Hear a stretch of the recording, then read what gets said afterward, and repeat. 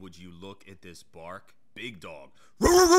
Let's make pastrami. The main difference between corned beef and pastrami is that pastrami is smoked. Corned beef is boiled. Now you want to remove some of the salt content. Soak this in water for three hours and then hit it with some Date Night by Rub Love. Go ahead and ask if I dropped it in dirt, but the bark that came off of this thing was insane. I smoked it to an internal 165. Look at the color, and then I put it in a pan on a rack to keep it off of the broth added some beef broth to the pan, and wrapped it up in heavy duty foil.